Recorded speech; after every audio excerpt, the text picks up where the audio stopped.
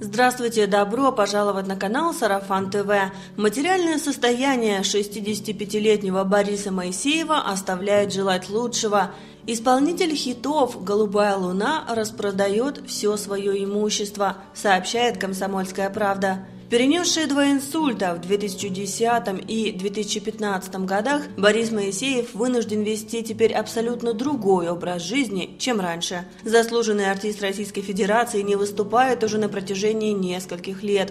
Как отмечают СМИ, Моисеев в настоящее время находится в затруднительном материальном положении. В частности, недавно певец избавился от своих роскошных апартаментов в Дубае. Также он распродал эксклюзивные ювелирные изделия и несколько ценных ценных картин.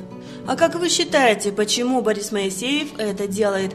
Пишите в комментариях. Если вам понравилось наше видео, ставьте лайк и подписывайтесь. Всего доброго!